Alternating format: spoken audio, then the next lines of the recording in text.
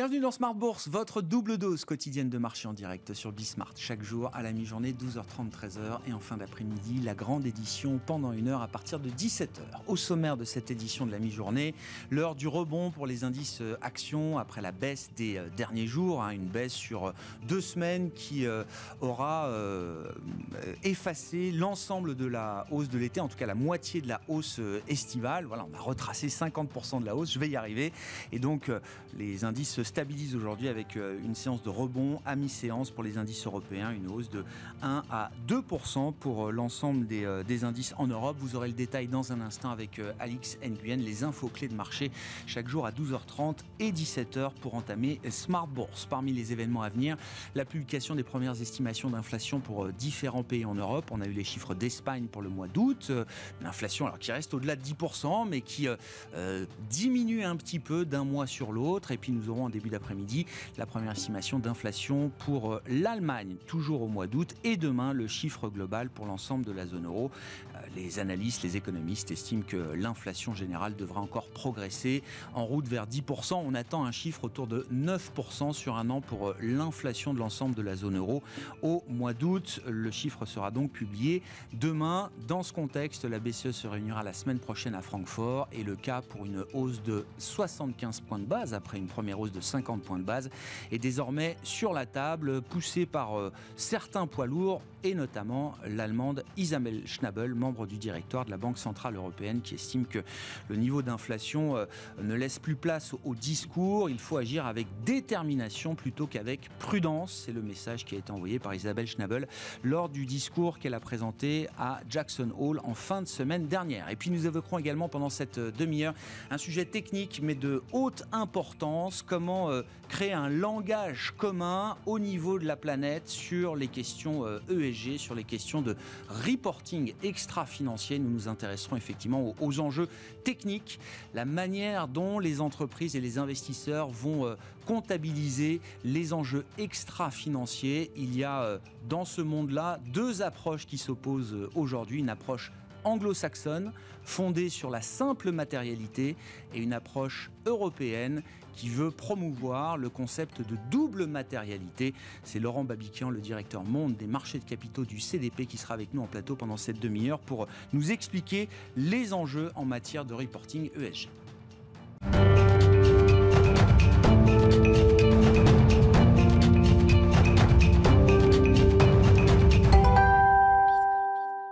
Mais d'abord, tendance mon ami, les infos clés de marché à mi-séance avec Alix Nguyen. Alix, je le disais, après euh, le retracement des derniers jours, le CAC 40 est au rebond aujourd'hui. Oui, l'indice parisien reprend du poil de la bête au sortir d'une séance bien morose sur les marchés, jusqu'alors sous l'effet du discours offensif de Jérôme Powell à Jackson Hole.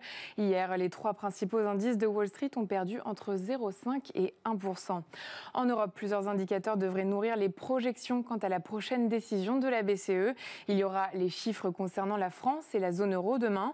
Mais avant cela, on attend à 14h30 aujourd'hui l'estimation d'inflation en Allemagne en août. Oui, l'Allemagne et les autres pays européens où l'inflation euh, du mois de juillet avait déjà atteint des niveaux records.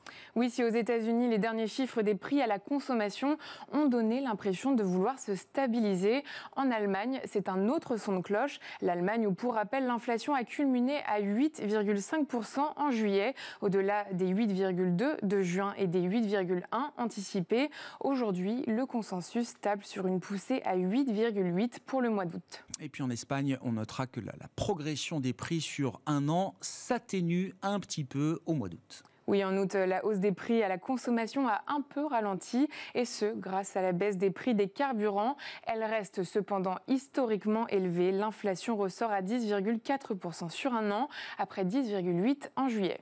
Et puis du côté des entreprises, hein, c'est toujours la, la, crise énergétique en Europe et ces derniers développements qui animent cette séance depuis que Gazprom a réduit ses livraisons aux Français Engie. L'énergéticien a annoncé ce matin que le géant russe Gazprom l'avait informé de réduction supplémentaire et immédiate de ses livraisons de gaz en raison d'un désaccord entre les parties sur l'application des contrats. Engie a rappelé avoir déjà mis en place des mesures afin de pouvoir fournir ses clients, même en cas d'interruption des flux de Gazprom. À noter également que jeudi dernier, les stocks de gaz de la France ont dépassé le seuil de 90% de remplissage pour l'hiver. Et puis on notera également dans le reste de l'actualité euh, Orpea qui accepte de rembourser euh, à l'État une partie des sommes qui lui ont été réclamées. Oui, le groupe d'EHPAD privé dans la tourmente depuis les révélations en janvier euh, du livre enquête Les Fossoyeurs va rembourser 25,7 millions d'euros au pouvoir public sur les 55,8 qui lui sont réclamés. Le groupe conteste en revanche le remboursement de plus de 30 millions d'euros que la Caisse nationale de solidarité pour l'autonomie lui a demandé de restituer fin juillet. Tendance, mon ami, deux fois par jour à 12h30 et 17h. Les infos clés de marché avec Alix Nguyen dans Smart Bourse sur Bismart.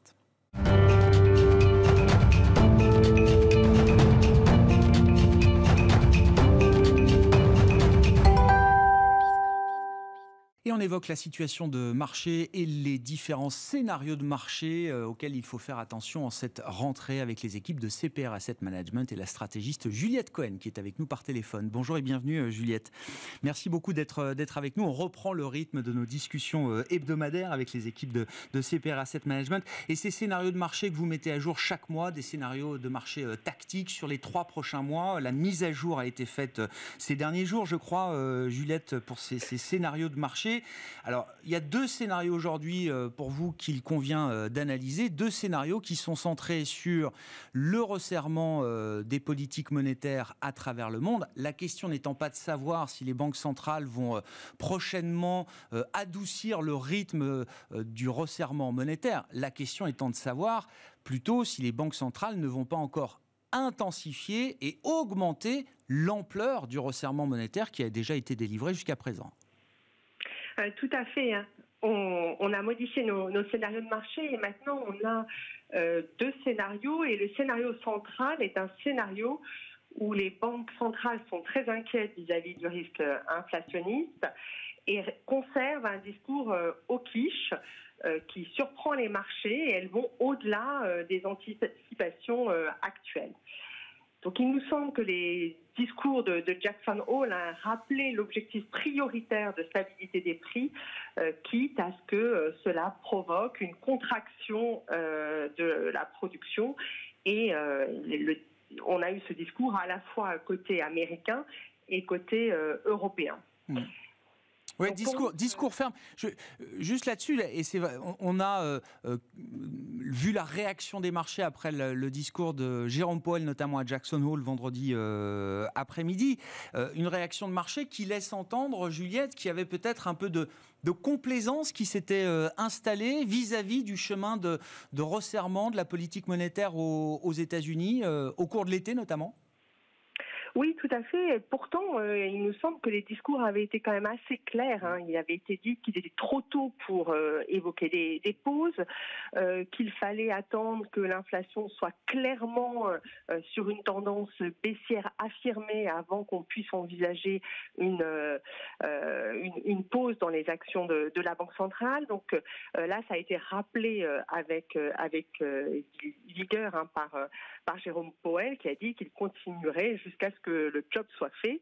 Euh, et on a eu euh, un discours euh, avec la même tonalité côté européen, ce qui était peut-être un petit peu moins attendu également.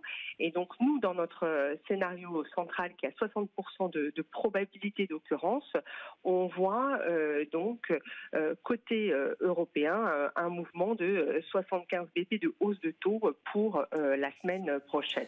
Ce qui fait la différence entre vos deux scénarios, euh, Juliette, c'est bien ce qui va se passer du côté de la Banque Centrale Européenne. C'est là où il y a le plus euh, d'incertitudes, d'inconnus aujourd'hui en matière d'intensité et d'ampleur du resserrement monétaire. Euh, oui, oui, oui, c'est vraiment côté européen qui, a avait peut-être le, plus d'ambiguïté. Et, donc nous, dans notre scénario central, donc je vous disais, on voit 75% de hausse de, taux pour la semaine prochaine, 50% ensuite, et dans le scénario alternatif où là, on, aurait un peu moins, je dirais, de, rapidité d'exécution des, banques centrales, on aurait deux hausses de taux de, 50 points de base. Mmh. C'est une stratégie risquée du point de vue des, marchés. Alors, je sais que c'est un débat qui existe même au sein de la Banque Centrale Européenne. On a euh, Isabelle Schnabel d'un côté qui, plaide pour euh, une action très déterminée, euh, plutôt que prudente, elle le dit elle-même, et à ce titre, on comprend qu'elle pourrait soutenir une hausse de 75 points de base la semaine prochaine. De l'autre côté, on a Philippe Lane, qui est quand même le chef économiste de l'institution, qui lui estime qu'il y a un risque peut-être de marché, notamment, à vouloir aller trop vite, trop fort dans une logique un peu de all-in et qu'il vaut mieux préférer une approche pas à pas, step by step, comme il le défend alors c'est pas forcément euh, complètement euh, incompatible, hein, puisqu'on on sait qu'ils veulent maintenant euh, aller vers des décisions réunion par réunion. mais ce qui, ce qui nous semble intéressant, c'est que Isabelle Schnabel a été euh, désignée pour représenter la BCE à, Jackson Hole, donc ça veut dire que probablement euh, sa, perception est la perception dominante au sein du Conseil des gouverneurs. Et puis on a eu quand même d'autres interventions récemment qui euh, étaient un peu sur la même longueur d'onde, et je pense notamment au gouverneur de la Banque de France, hein, François Villeroy de Gallo, qui disait qu'il allait probablement falloir atteindre le taux neutre hein, avant la fin de, l'année. ce taux neutre, hein, il est évidemment entouré beaucoup d'incertitudes, mais il est autour des 1,50. Donc, euh, donc on voit bien quand même qu'il euh, y, a la, volonté d'aller euh, d'agir assez vite, qui est quand même assez partagée au sein du, Conseil. Dans, dans, le cas de ce scénario, je rappelle, hein, 60% de probabilité de voir effectivement une, accélération du durcissement monétaire, notamment en zone euro.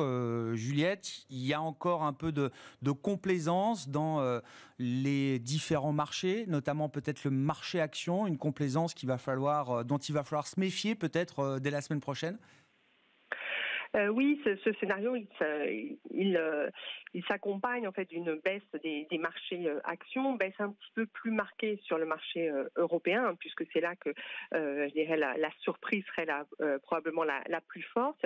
Et puis dans le scénario à 40%, finalement, les banques centrales agiraient conformément aux anticipations de marché. Là, on voit un, rebond des marchés actions, notamment du marché américain.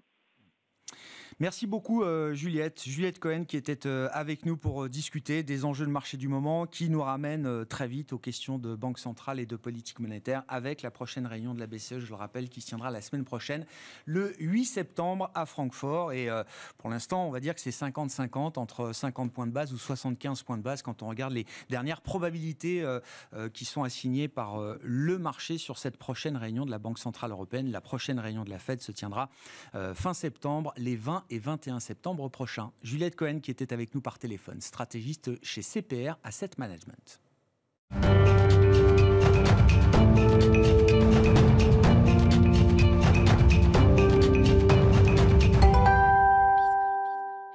Et nous prenons euh, un peu de temps désormais, un quart d'heure, pour expliquer les enjeux du moment en matière de euh, reporting ESG. Il y a une bataille qui euh, voit le monde anglo-saxon et le monde européen s'affronter sur l'avenir, le futur, la méthode qui sera la méthode standard, on l'espère, pour reporter justement les enjeux extra-financiers dans les comptes des, entreprises. Laurent Babiquian est avec nous en plateau, le directeur monde des marchés de capitaux du CDP. Bonjour et bienvenue Laurent. Bonjour On, se, parle, régulièrement euh, à ce micro. Oh, rappelez-nous d'un mot ce que fait le, CDP Carbon Disclosure Project. C'est une ONG qui, alors je le dis simplement, qui fait euh, référence aujourd'hui au niveau mondial dans la, mesure du carbone avec un certain nombre d'outils qui ont été développés, basés sur la science, comme on dit. C'est ça, euh, Laurent? Oui, en fait, c'est la, principale plateforme de reporting environnemental au monde sur laquelle, rapporté en 2021, 15 000, 14 000 sociétés, 14 500 sociétés et des villes, des États et des régions. Et nous avons euh, développé à côté de ça des outils euh, qui permettent de mesurer l'alignement en termes de température. Et nous sommes cofondateurs d'une euh, d'une organisation qui s'appelle Science Based Target, qui labellise les targets scientifiques des entreprises pour savoir si elles sont alignées sur 1,5 degré ou pas. Pourquoi est-ce qu'il faut se plonger dans ce sujet euh, technique qui est celui des, standards de reporting ESG e Alors, ce que j'appelle simplement la comptabilité ESG, mais vous allez nuancer, nuancer ces, propos, Laurent. Déjà, sur cette question philosophique qui voit le monde anglo-saxon et le monde européen s'affronter, je le disais en introduction, on a un monde anglo-saxon qui plaide pour une approche fondée sur la simple matérialité et un monde européen qui aimerait bien voir le concept de double matérialité émerger comme un standard de reporting ESG. Euh, une fois qu'on a dit ça, pas sûr qu'on ait tous bien compris. Qu'est-ce qu'il faut comprendre justement de ces enjeux et de euh, ces deux approches différentes qui s'affrontent aujourd'hui? Il faut peut-être d'abord expliquer ce que c'est que la simple matérialité et la double matérialité. Euh, la simple matérialité, ça veut dire que ça n'est que le changement climatique qui va avoir un impact sur l'entreprise, la capacité de l'entreprise à faire du profit, à faire des affaires. Alors que la double matérialité, c'est la simple matérialité plus le fait que l'entreprise, par son activité de production ou par son business model, va avoir un impact sur le changement climatique, sur la nature, sur la biodiversité. Très clair. Donc c'est beaucoup plus complet, c'est beaucoup plus riche. Et si l'objectif est de nous sauver, de sauver nos enfants et de sauver la planète d'ici 2050 et qu'on atteigne une température d'1,5 degré, alors la double matérialité est fondamentale. Voilà. Et donc ça, ce sont euh, deux approches qui sont opposées. L'approche de double matérialité est euh, celle qui est euh, adoptée par la Commission européenne à travers les FRAG. Et euh, qui, est quoi? L'autorité européenne qui gère qui gère le reporting, le financier et extra-financier, et ce serait l'équivalent de la fondation IFRS en Europe. Et oui, c'est ça. Voilà. De l'autre côté, dans, le, dans, le, monde anglo-saxon, il y a la fondation IFRS, qui est déjà connue parce qu'elle a un département qui s'appelle l'IASB, et l'IASB gouverne la manière de rapporter la donnée financière dans à peu près 140 pays aujourd'hui. Ça a été fait il y a une quarantaine d'années, sauf les États-Unis. Il, faut noter que les États-Unis ont leur propre système qui est le US GAAP.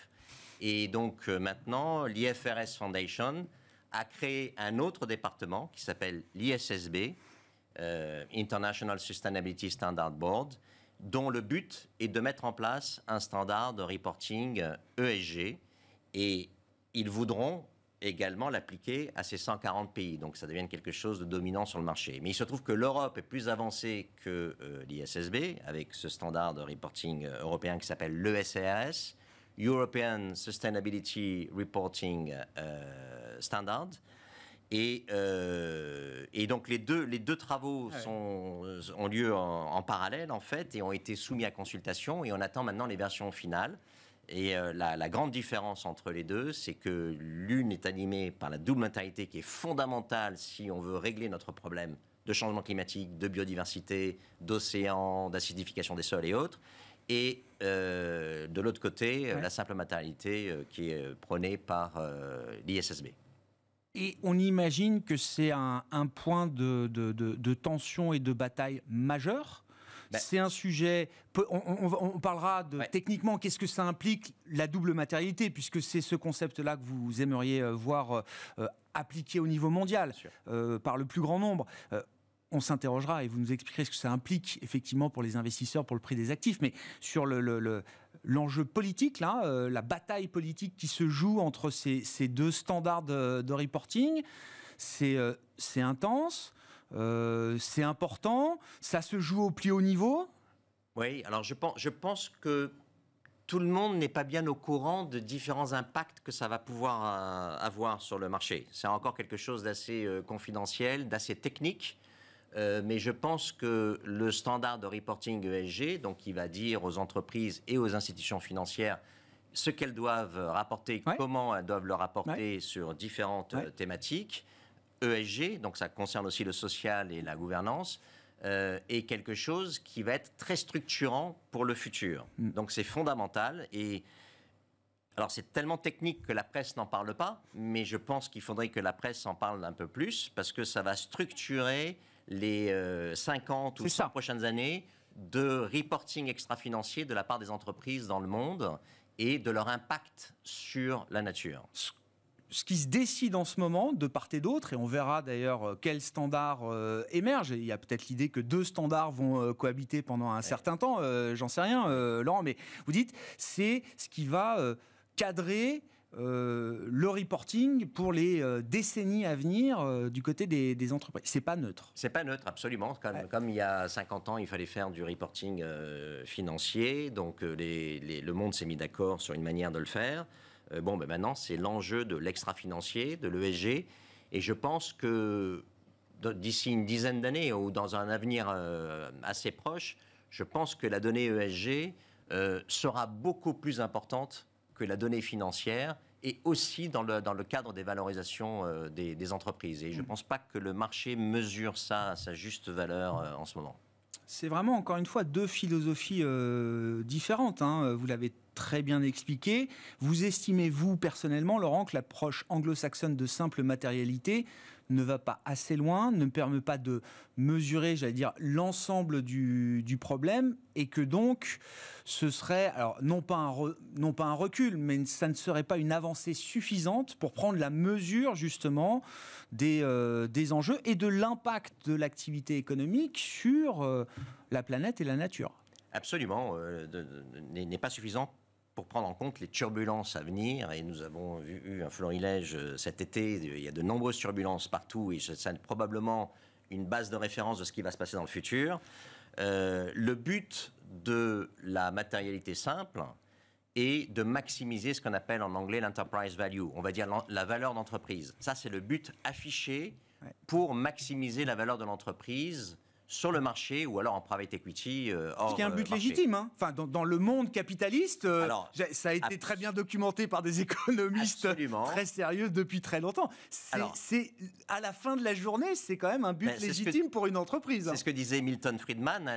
L'unique raison d'être de l'entreprise, c'est de eh produire du profit pour ses actionnaires. Eh bon, le problème, c'est que ça, ça baigne la théorie néolibérale dans laquelle nous sommes depuis plusieurs dizaines d'années et que maintenant, je pense qu'il va falloir switcher pour maximiser le profit non plus d'un seul euh, stakeholder, qui est l'actionnaire, mais le profit de tous les stakeholders. Et dans les stakeholders, il y a les salariés, il y a les clients, il y a les fournisseurs, mais il y a aussi la nature.